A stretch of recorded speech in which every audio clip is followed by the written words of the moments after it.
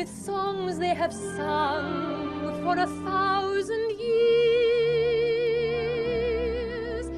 The hills fill my heart with the sound of music.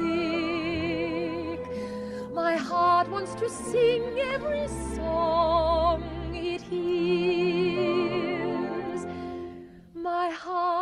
wants to beat like the wings of the birds that rise from the lake to the trees. My heart wants to sigh like a chime that flies from a church on a breeze. To laugh like a brook when it trips and falls over stones on its way. To sing through the night like a lark who is learning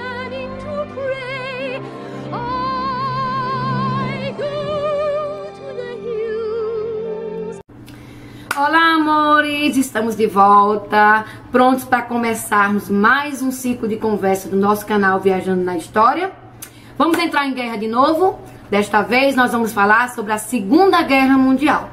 Neste primeiro episódio, nós vamos enfocar as causas principais que levaram ao início do conflito em 1939, ok? Então vamos lá? Então não esqueçam, nossos recadinhos de sempre. Vamos lá, vamos curtir, comentar, compartilhar. Se não se inscreveram no canal, vão lá e se inscrevam. Não esqueçam de ativar o sininho das notificações, ok? Então vamos lá? Aguardo vocês. Beijos! Bem, amores, então estamos de volta. Vamos começar mais um ciclo de conversa do nosso canal Viajando na História, ok? Então, desta vez, nós vamos entrar novamente em guerra, só que agora é a Segunda Guerra Mundial. Então, quem vem acompanhando o nosso canal ao longo de todos esses meses, é, desde, desde o início, né? então viu que nos primeiros episódios falaram exatamente sobre a Primeira Guerra Mundial, 1914 a 1918, e agora nós vamos falar sobre a Segunda Guerra Mundial, de 1939 até 1945. Então, é, naquela ocasião, quando a gente começou nossas conversas, nossos primeiros episódios sobre a Primeira Guerra, é, eu coloquei para vocês que a Primeira e a Segunda Guerra Mundial foram os dois mais importantes conflitos do século XX, foram os conflitos que moldaram o século XX, né, cujas consequências, né, mesmo com, com tanto tempo passado do fim desses conflitos, né, a Primeira Guerra aí tem mais de 100 anos, é, a Segunda Guerra um pouquinho menos.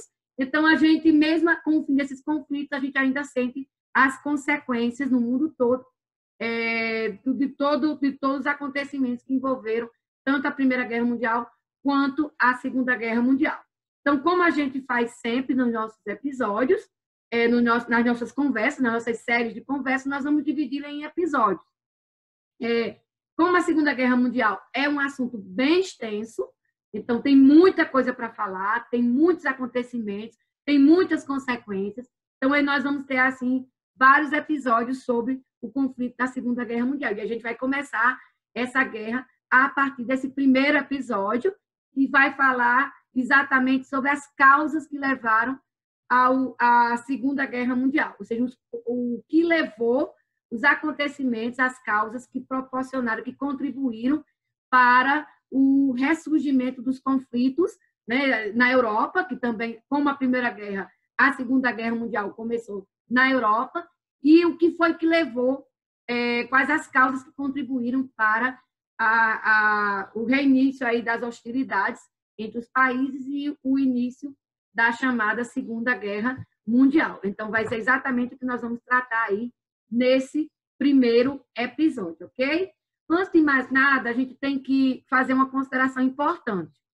É bom lembrar sempre que as origens né, das causas que levaram à Segunda Guerra Mundial, 1939 1945, elas vão se encontrar lá na Primeira Guerra Mundial, então que terminou em 1918. Por quê? Porque muita coisa ficou mal resolvida.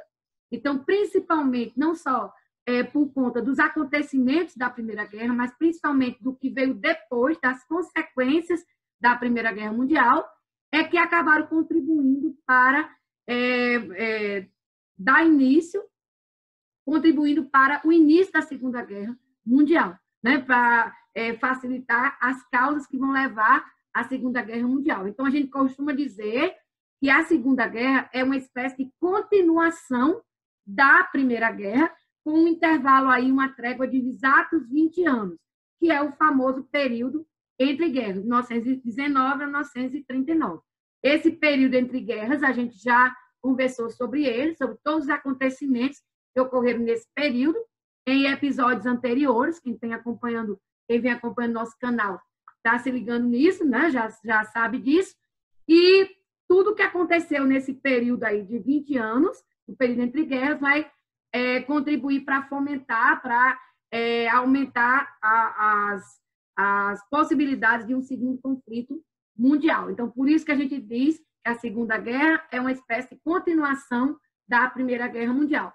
As origens das causas que vão levar ao início da Segunda Guerra, a gente vai encontrar lá no final da Primeira Guerra Mundial. Então, são duas coisas interligadas, não, tão, não são fatos separados, muito pelo contrário, são dois fatos que estão interligados, inclusive, às, às vezes, com os mesmos é, com os mesmos protagonistas, com os mesmos países, é o caso da Alemanha, né, que vão estar envolvidos aí na, na, no início da Segunda Guerra Mundial. Então, é, é bom lembrar sempre isso. Óbvio que a, a, Segunda Guerra ela vai ter uma dimensão é muito maior do que a Primeira, né? Então, a Primeira Guerra Mundial ela já provocou uma, vamos dizer assim, uma mudança significativa nos conflitos até então, né? Então, até o início do século XX é, com a introdução de novas armas, né, de tecnologias bélicas, né, com a introdução, é, é, o que acabou provocando uma, uma grande quantidade né, é, de mortos e feridos, né, de destruição. É, e a Segunda Guerra Mundial ela vai é, aumentar de forma exponencial esses fatores, né, essas consequências, porque da, a, além, além de novas armas, né, então além de ter, de ter um tempo maior, né, a, a, a primeira, a Primeira Guerra Mundial ela foi de 14 a 18, a Segunda Guerra Mundial foi de 39 a 45, então foi um tempo muito maior aí, né, um pouquinho maior do que a primeira. Além disso, as, as inovações bélicas, as novas tecnologias, as novas formas de conflito, as novas estratégias vão provocar um aumento exponencial, por exemplo, no número de mortos, vão ser milhões de mortes a mais na Segunda Guerra em relação à Primeira Guerra Mundial.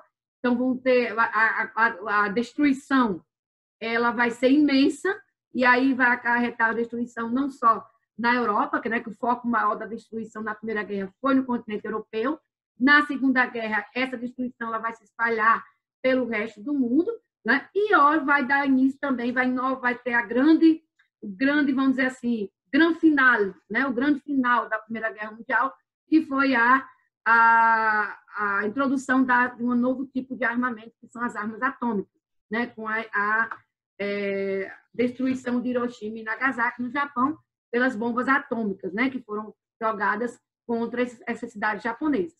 Então, isso aí, todas essas, essas novas é, modificações, essas novas tecnologias, essas novas armas, essas inovações bélicas vão contribuir de forma decisiva, óbvio, para aumentar a quantidade de mortes e feridos e também a, a, o tamanho da destruição causada pelo conflito é, na, na, da Segunda Guerra Mundial em relação à Primeira.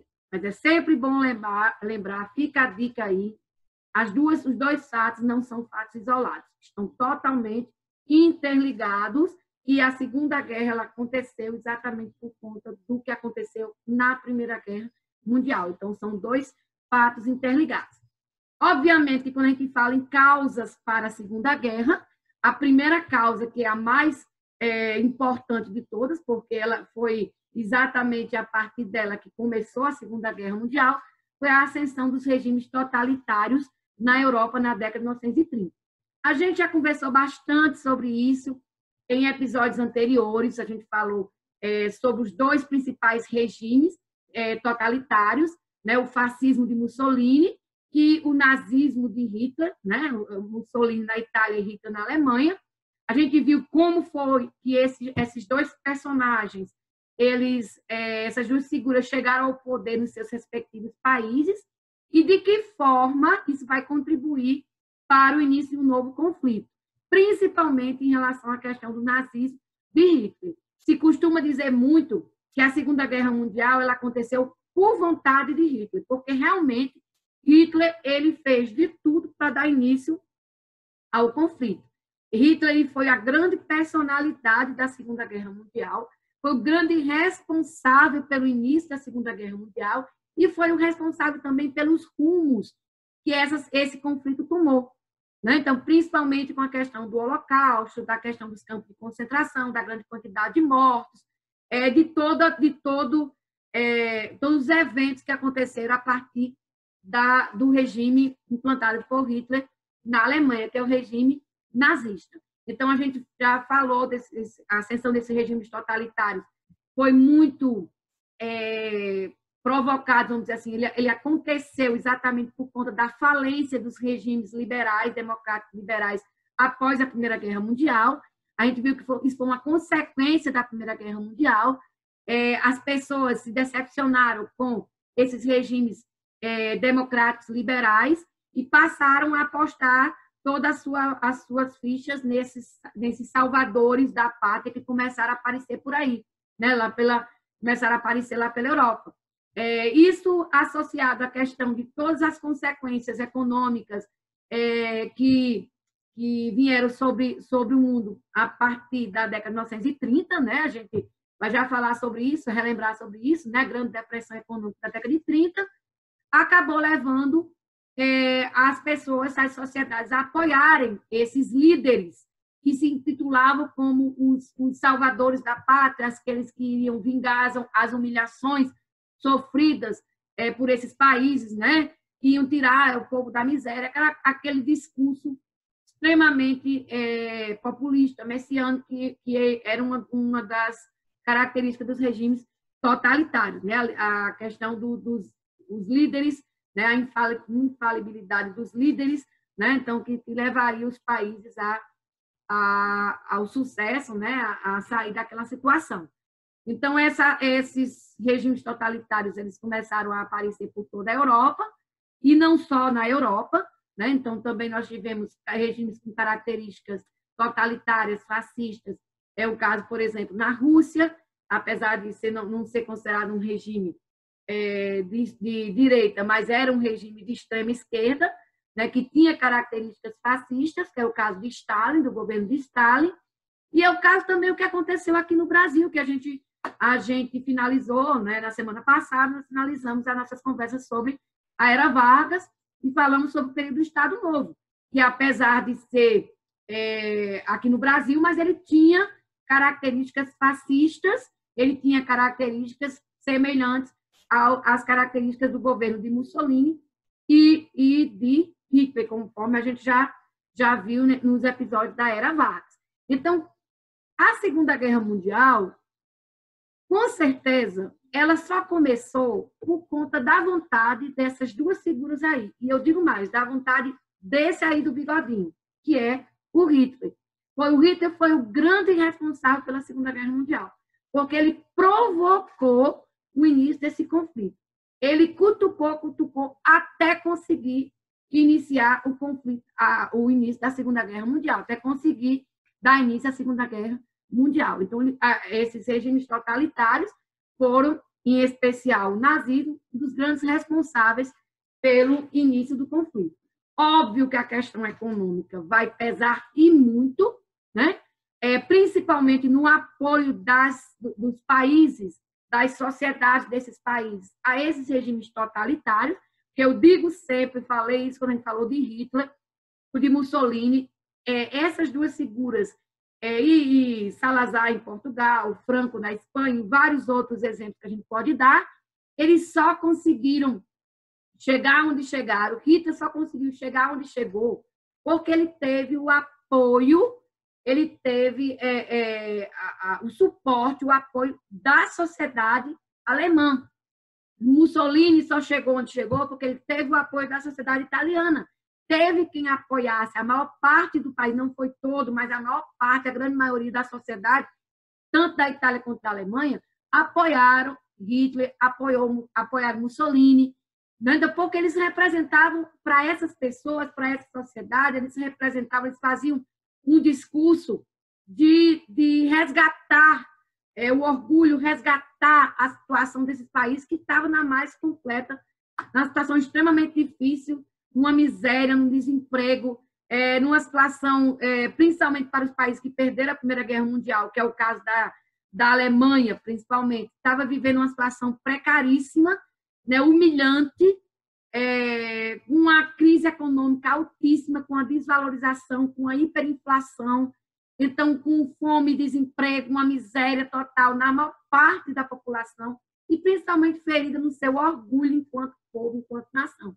E aí apareceu Hitler, apareceu Mussolini na Itália e Hitler na Alemanha, é, pregando o discurso de volta ao passado glorioso, de volta de, de vingança contra, contra quem promoveu aquela, aquelas humilhações, e aí, obviamente, acabou aderindo ao apoio da sociedade. Óbvio que a questão econômica pesou demais e muito mesmo, né? e essa questão econômica, ela é só relembrando, porque a gente já conversou sobre isso em episódios anteriores, lá naquela, naquela série de conversas sobre o período entre guerras, nós falamos da quebra da Bolsa de Nova York, em 1929. É, os Estados Unidos, que era a grande potência econômica do mundo, quebrou, e junto com ele, né, que era é, a locomotiva da economia mundial, se a locomotiva quebrou, todos os vagões, todos os países que dependiam da economia americana quebraram junto também, ou seja, o mundo todo. E aí essa quebra da bolsa em 1929 acabou gerando a grande depressão econômica da década de 1930. Foi praticamente uma década inteira 10 anos de crise econômica mundial.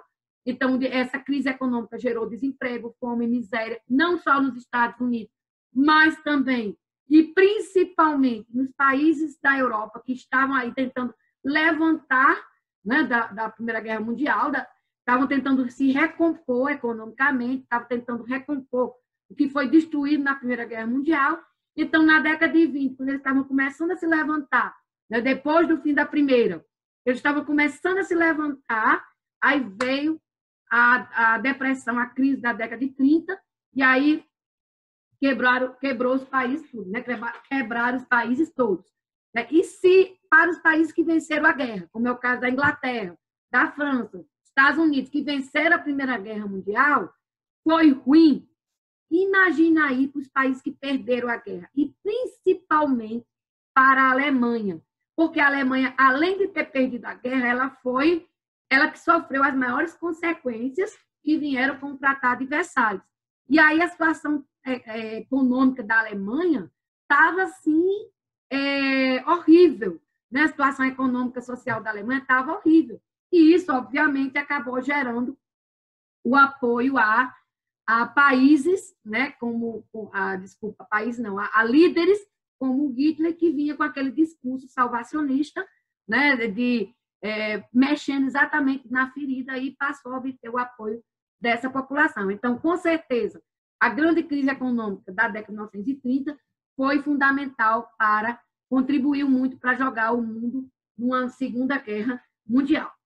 Quando a gente fala em relação à questão da Alemanha, que a Alemanha estava numa situação realmente muito ruim, é, isso foi, lógico, causado por pela guerra, pela destruição, pela derrota, né, pelo, e, e, agravado com a crise econômica da década de 30, mas existe um, um ingrediente a mais na Alemanha que vai mexer exatamente com o sentimento da, dos alemães nesse período, que foram as humilhantes condições do Tratado de Versalhes. E aí, relembrando um pouquinho, a gente falou disso lá na Primeira Guerra Mundial, como consequência da Primeira Guerra Mundial, o Tratado de Versalhes foi assinado em 1919. É, foi o tratado imposto ao alemão, um tratado que selou o fim da guerra, né, que na verdade foi muito mais um, um, não foi um acordo de paz, mas foi muito mais uma, uma, um tratado punitivo, porque puniu severamente a Alemanha pela Primeira Guerra Mundial.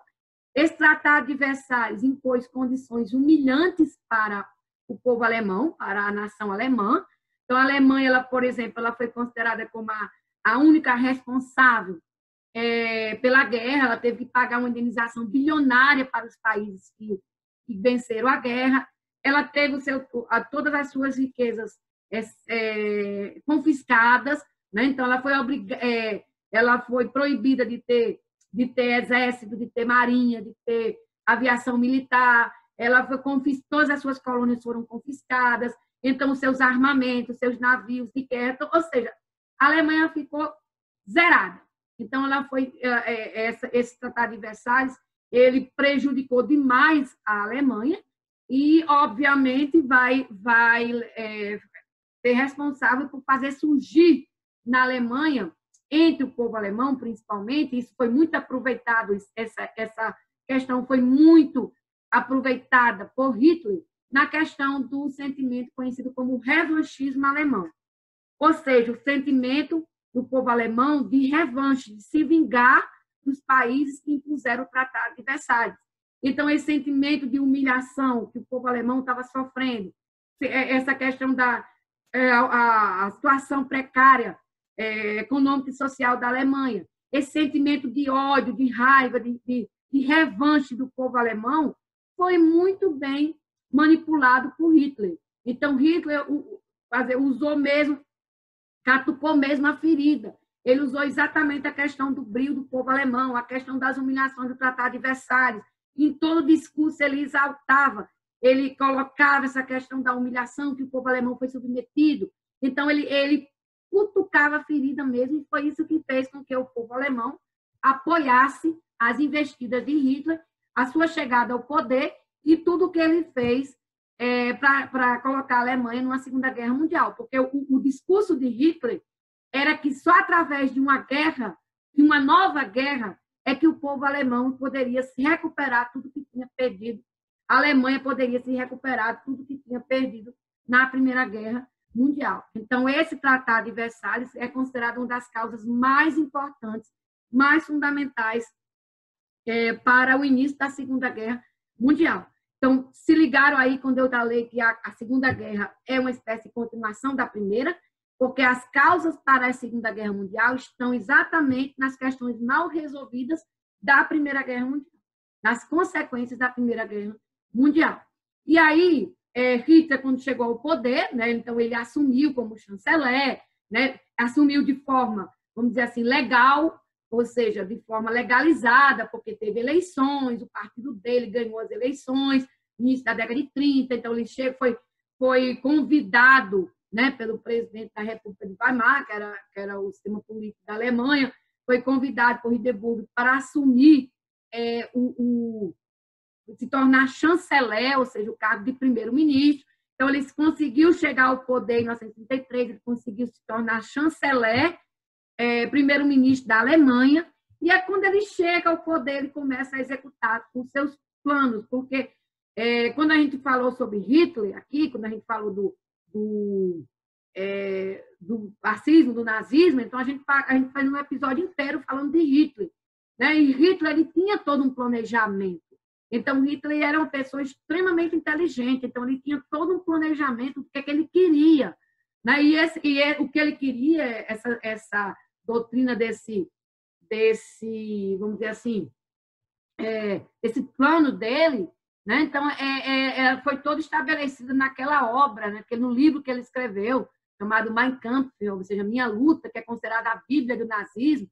Então, nesse livro, ele coloca todas as, as vamos dizer assim, tudo que ele queria, né, de planejamento, né? E uma dessas, dessas e aí ele começa a tomar o poder, então ele, ele centraliza mais ainda, faz aquela farsa do, do incêndio do, do, parlamento alemão, fecha o parlamento, começa a assumir com todos os poderes se torna ditador, né? Se torna o Führer, ou seja, o líder. E a partir daí, quando ele centraliza o poder nas suas mãos, ele começa a colocar em prática o seu plano de começar uma segunda guerra.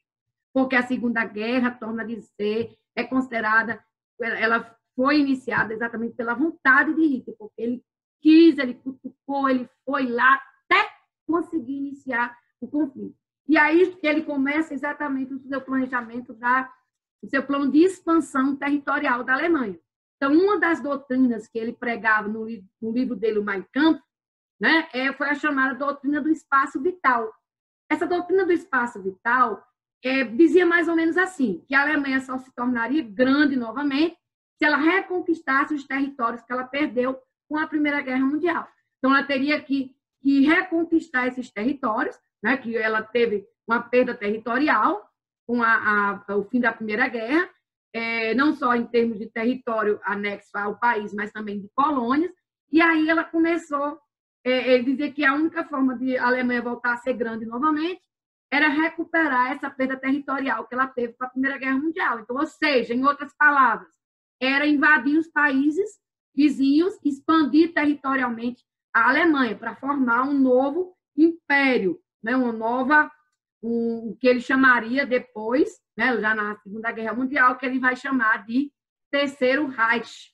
Reich em alemão quer dizer exatamente império. A Alemanha teve três Reichs ao longo da sua história, três impérios. O primeiro império, o primeiro Reich, foi lá na Idade Média, Federico Barbarossa foi lá na Idade Média.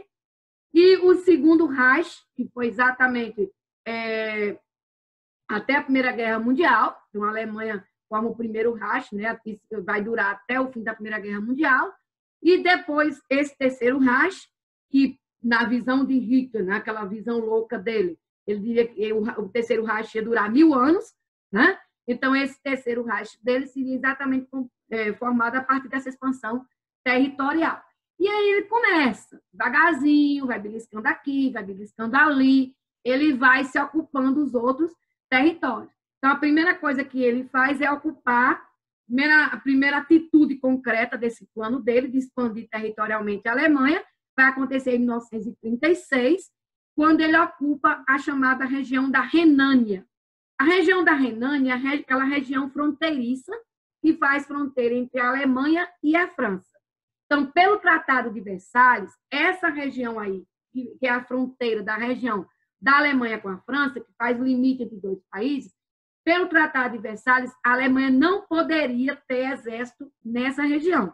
Ela seria uma espécie assim de, de faixa desmilitarizada. Então, a Alemanha não poderia colocar tropas, exército nessa região que fazia fronteira com a França. Foi uma exigência da França no Tratado de Versalhes. Então, a Renânia era uma região desmilitarizada. Em 1936, o que foi que Hitler fez? Mandou soldados para lá. Ocupou a região da Renânia com tropas, tanques e soldados. Então, isso aí já foi um desrespeito às, às condições do Tratado de Versalhes. Ou seja, já estava mostrando o que é que Hitler queria fazer. Só quem não, quem não queria ver, né? Todo mundo estava vendo. Agora, quem não queria ver, muita gente se fez de, de cego né, para não querer ver o que estava acontecendo.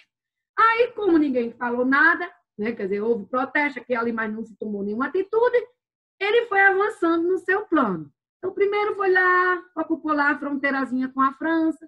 Depois, em 12 de março de 1938, ele põe em, em ação seu plano de anexar a Áustria. Lembre sempre que Hitler não era alemão. Hitler, Adolf Hitler nasceu na Áustria.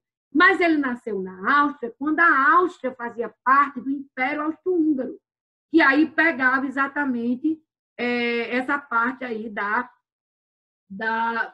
É como se fosse uma coisa só, pegava a parte da Alemanha no aspecto do pan-germanismo. Né? Então, em março de 1938, a Áustria passou a ser um Estado alemão. Então, se ele era austríaco, mas ele, ele era austríaco, mas ele serviu no exército alemão, né, porque a Áustria, o Império Austro-Húngaro, era aliado da Alemanha na Primeira Guerra Mundial, então a gente deve estar lembrado disso.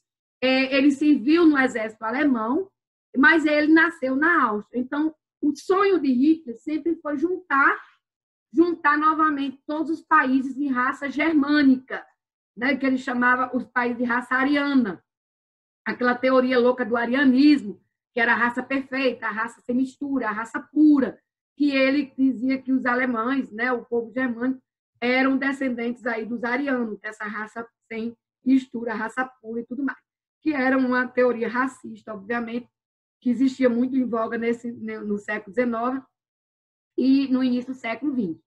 E aí ele promove é, a anexação da Áustria. É, essa anexação da Áustria, que foi promovida em 1938, março de 1938, ela ficou conhecida como Anschluss.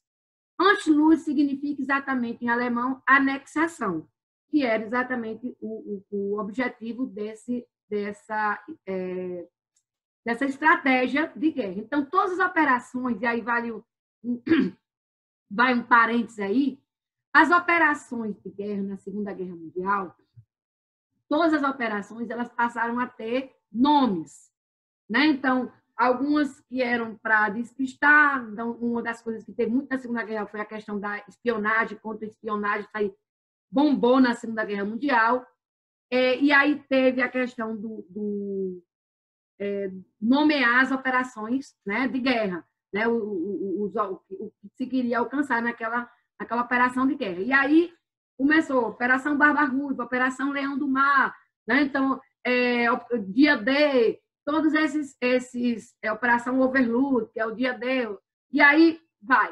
Então, Anschluss significa anexação, foi o nome que se deu à operação promovida por Hitler de anexar a Áustria. E a anexação ela foi feita assim na maior cara de pau. Hitler simplesmente mandou o seu exército invadir a Áustria. E aí os, as tropas nazistas, as tropas do exército alemão, entraram em Viena, ocuparam a cidade, a cidade de Viena, e é, Hitler declarou a Áustria como um Estado alemão, fazendo parte da Alemanha. O interessante, e é, é bom observar isso, que essa anexação ela foi feita sem derramamento de sangue, ela foi feita sem combate, sem luta. Por quê? Porque no, quase 100% da população apoiou a unificação. E isso tem uma explicação. A questão da política do pan-germanismo, que era uma ideologia que vinha desde antes da Primeira Guerra Mundial. Essa ideia de que os países de raça alemã, de raça germânica, né? Então, os, os, povos arianos, os povos germânicos deveriam se unir numa grande nação.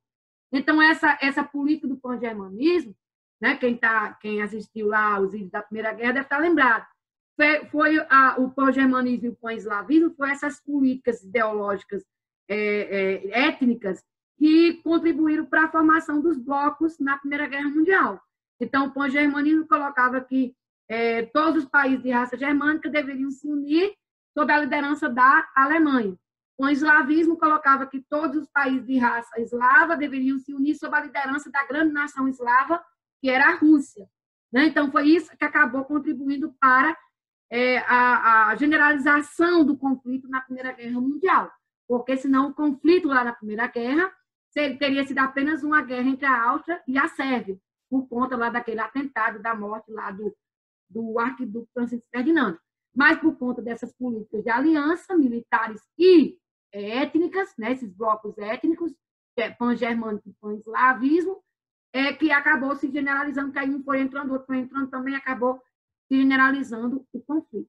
Então, havia muito presente, era muito presente a ideia, e muito aceita na Áustria, a ideia de que é, a Áustria era um povo irmão da Alemanha, então que deveria ser uma parte de uma única nação. Então, essa ideia do pan-germanismo. Então, por isso, não houve resistência na invasão, na anexação da Áustria. É bom deixar bem claro isso, não houve resistência.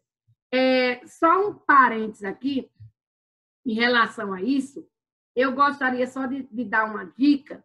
É, um, grande, um dos grandes, das grandes, é, vamos dizer assim, não é filme, é um filme, assim, um dos grandes clássicos do cinema, né, que fala sobre, sobre essa questão da anexação da Áustria, é A Noviça Rebelde, que é um dos grandes musicais do cinema, da história do cinema, e que retrata a história real, né, porque é baseado numa história real que aconteceu lá na Áustria, de uma família que fugiu da anexação, da invasão nazista. Era uma família, é, tem a história da babada com as crianças, mas fala da história dessa família que fugiu pelos, pelas montanhas que acabou saiu da Áustria por conta dessa invasão nazista. E é baseado numa história real, que é a família von Trapp, que é que é a, a, o tema principal do filme A Noviça Rebelde, que retrata exatamente esse contexto histórico aí, ok? É, a expansão de Hitler foi se ampliando cada vez mais, então, ele anexou a Áustria, 36 ocupou a Renânia, 38 foi anexando a Áustria, e foi abocanhando ali, abocanhando aqui, até que ele chega na região conhecida como a região dos Sudetos. A região dos Sudetos era uma região é, que fazia parte de um país chamado Tchecoslováquia, que hoje não existe mais. Hoje, a, onde era a Tchecoslováquia, isso do final do século passado para cá, né? então houve um desmembramento aí com o fim da União Soviética, houve um desmembramento é, da Tchecoslováquia e da Iugoslávia, e aí retornaram aí vários países que existiam muito antes. É, então, o que é, era a antiga Tchecoslováquia, hoje é a República Tcheca e a Eslováquia. São dois países ali no centro da Europa. Então, nessa, nesse país aí, tinha uma região chamada região dos Sudetos. Essa região dos Sudetos havia uma, uma percentual que era uma minoria de é, povos alemães, ou seja, de, de, de alemão que morava lá. Então, o que é que Hitler fez? Ele começou a incentivar é, a independência dessa região, começou a incentivar esses povos para proclamar a independência dessa região da Tchecoslováquia, ou seja, para se unir à Alemanha. Então, ele vai, com isso, ocupar, usando essa, essa desculpa, essa justificativa de que a região do, do, dos a região dos Sudetos fazia parte da Alemanha porque era ocupada pelo povo alemão, que era mentira, era só uma minoria que tinha lá, ele vai ocupar também essa parte da Tchecoslováquia. Isso já foi exatamente em 1939. Então, ele já vai aí se ampliando, já vai aí é, como pegando um pouquinho ali, pegando um pouquinho aqui, né? Interessante, e aí eu vou abrir um parênteses, que a gente precisa também fazer uma correlação com com o presente, né? É, o que Hitler fez aí nos Sudetos, né, incentivando aí o povo alemão a se rebelar, né, nessa região que fazia parte de um outro país, foi o que o Vladimir Putin fez na Ucrânia. Né? Então, fez em relação à Ucrânia, onde a Península da Crimeia, isso foi em 2014, não estou lembrado, a Península da Crimeia, que tinha uma população russa, que ocupava essa, essa fazia parte, né, tinha uma, uma minoria russa que ocupava essa península, a Crimeia, que fazia parte da Ucrânia, ele foi lá e começou a incentivar, isso há poucos anos atrás, minha gente, ele começou a incentivar essa, esse povo a se rebelar contra o governo ucraniano. Aí foi lá e anexou, enviou as tropas lá, alegando que estava protegendo o povo russo de lá, invadiu e tomou a Crimeia, simplesmente foi lá e tomou a Crimeia da Ucrânia. Isso foi há pouco tempo, se não me engano, 2014, quer dizer, é, há, há, pouco tempo atrás. Então, essa, essas técnicas, vamos dizer assim, essas estratégias, elas não são de hoje, né? mas continuam sendo usadas até hoje, essas estratégias que Hitler fez. E aí a situação chegou a um ponto tal, né? Hitler foi, estava aí botando a, a, a, aquele menino sonso, né? Vai lá, pegava um, ou ia, pegava outro, ninguém falava nada, ele ia pegava outro também, e com isso ele começou a se espalhar, começou a se expandir, começou a aumentar o território da Alemanha, numa é, contradição flagrante, ou seja, numa, num desrespeito flagrante às exigências do Tratado de Versalhes. E aí a situação chegou a um ponto tal que as potências europeias tiveram que se pronunciar. Até então estava todo mundo se fazendo de doido. Todo mundo se fazendo de surdo, de mudo, não estava vendo nada, já tá, a gente estava só fazendo o que queria, estava todo mundo na dele, ninguém queria se comprometer, né? Estava todo mundo fazendo ouvidos mocos ao que estava acontecendo. A região dos Sudetos, o povo da, daquela região que não era alemão, reclamava, a Tchecoslováquia reclamou enquanto país, mas ninguém estava todo mundo tava, tava, ah, mas aí chegou numa situação que não tinha mais como, como fazer de conta que não estava vendo, né? Porque estava todo mundo fazendo conta que não estava vendo a expansão de Hitler.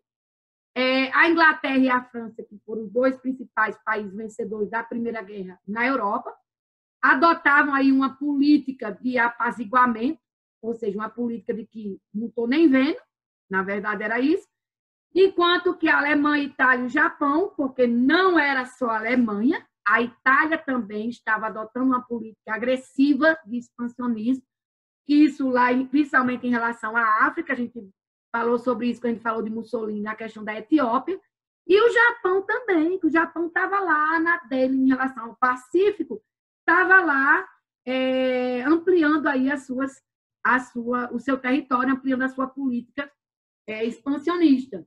Então, não era só a, a Alemanha de Hitler, tem que dizer isso. Mas aí os, as potências europeias estavam fazendo aquela coisa que não estava nem vendo. Né? Estava se fazendo de, de, de, de doido, estava nem vendo o que estava acontecendo. Óbvio que tem uma razão para isso, né? a gente tem que dizer. É, a Inglaterra e a França, principalmente, elas estavam começando a se reconstruir os seus países depois da Primeira Guerra Mundial. Veio a, a, a, a crise econômica, a depressão da década de 30, aí derrubou tudo de novo. Então, agora estavam começando a se levantar novamente e nenhum desses países tinha interesse numa nova guerra. Torno a dizer, a Segunda Guerra só aconteceu por vontade de Hitler. Nem a Inglaterra, nem a França tinham interesse numa nova guerra. Estava todo mundo recém-saído, foi 10 anos praticamente que tinha terminado a Primeira Guerra Mundial. Estava todo mundo ainda querendo se recuperar, estava todo mundo se fazendo de doido, dizendo que não estava nem vendo as intenções de Hitler, porque ninguém, não era interessante para ninguém começar uma nova guerra. Mas como a situação, essas agressões, né? As invasões territoriais, as agressões expansionistas desses países, tava uma coisa, ficou uma coisa assim num ponto que não dava mais para dizer que não estava enxergando, as potências europeias se reuniram na cidade de Munique, na Alemanha, e realizaram a famosa Conferência de Munique. Essa Conferência de Munique reuniu os representantes dos países, né, é, Inglaterra, França, Alemanha, é, Itália, principalmente, e é, tinha por objetivo botar um freio nessa expansão desses países, principalmente na expansão alemã. Participaram desses, dessa reunião, além de Hitler, Mussolini, é, participaram o primeiro-ministro da França, Daladier, e o primeiro-ministro Chamberlain, da Inglaterra, é, que era o primeiro-ministro inglês nesse período. Essa conferência de Munique ela foi uma vergonha. Por quê? Porque o que, é que aconteceu?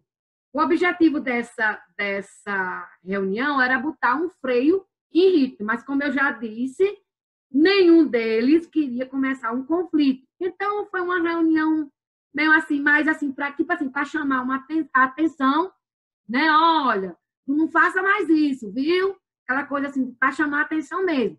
Ó, isso aí está errado, você não pode agir assim. Não houve uma pressão forte sobre Hitler, foi mais uma uma advertência, né? e para apaziguar os ânimos, para deixar Rita contente, para acalmar a situação, para botar panos quentes, é, a Conferência de Munique acabou concedendo, é, ou seja, dando de forma arbitrária, porque não consultou nem, nem a Tchecoslováquia, muito menos a população, concedeu a região dos Sudetos para a Alemanha. Isso como uma forma aí de apaziguar os ânimos, evitar um conflito.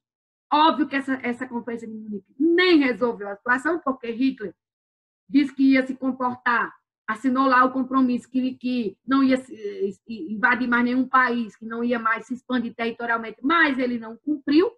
Tanto é que pouco tempo depois, isso, essa reunião foi no início do ano, pouco tempo depois, em setembro, né, 1 de setembro de 1939, ele foi lá e invadiu a Polônia, né? E aí começou mesmo, aí não teve jeito, começou a, primeira, a Segunda Guerra Mundial, com a invasão da Polônia, 1 de setembro de 1939.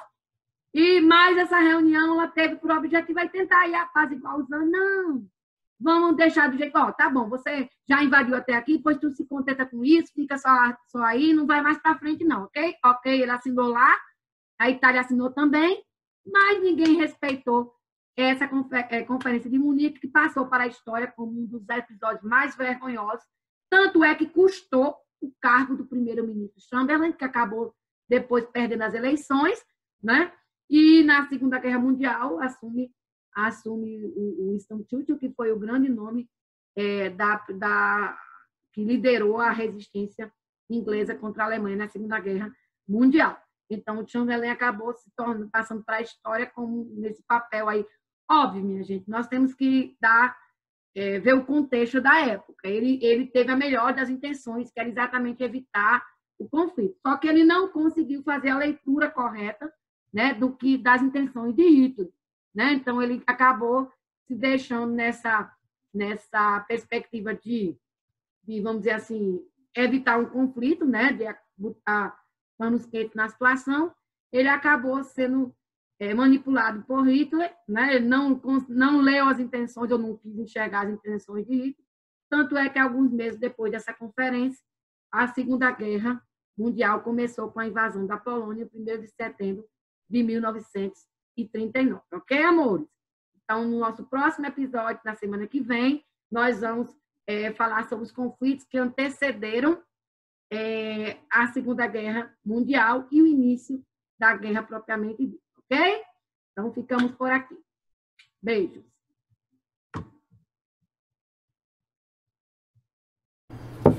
E aí, amores, gostaram do nosso primeiro episódio sobre a Segunda Guerra Mundial? Então, na próxima semana, nós vamos falar sobre os antecedentes da guerra. Quais foram os principais conflitos que levaram à Segunda Guerra Mundial e também vamos falar sobre os acordos, pactos, todas as estratégias dos bastidores deste conflito, ok? Então aguardo vocês no próximo episódio. Beijo!